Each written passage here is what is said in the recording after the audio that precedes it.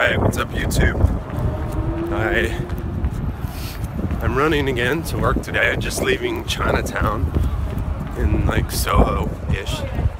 And today I got a notice from my insurance company that my primary care provider was out of network, which has got me super angry because they're not. Anyways, they're trying to charge money, blah, blah, blah, blah, blah.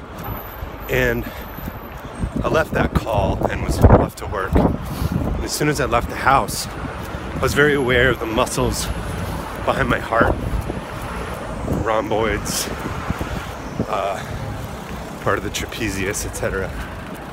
And I was really aware of that place. I was also really aware of my tibia yesterday, my shin bones, because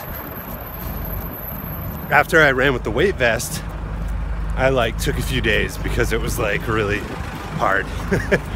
and yesterday I ran a little bit and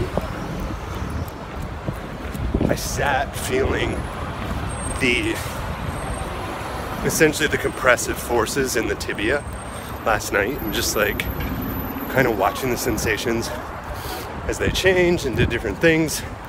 So I'm very aware of the sort of spongy factor or the spongy percussive factor in my tibia. Let me get past this guy.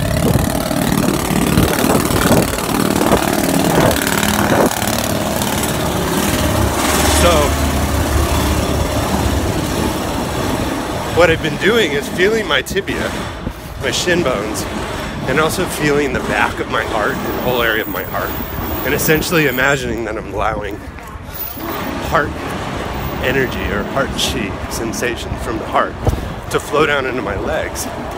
And I'm making the legs throughout this run more and more passive. So, specifically my lower legs, I'm just saying, okay, what's the least I can do and keep running? Because really, that's a question of efficiency. That's a question I'm asking my body which muscles do you actually need to use to perform this action, and which are sort of emotionally based and probably aren't working that well.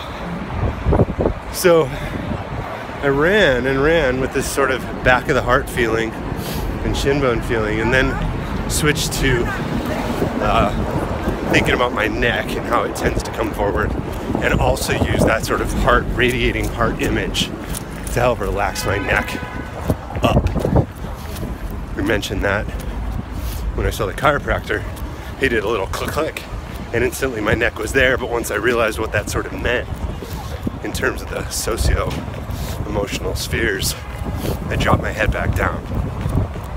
So, anyways, I'm working on these things going into work. And I got like a lot of new visions for uh, the structure of the business.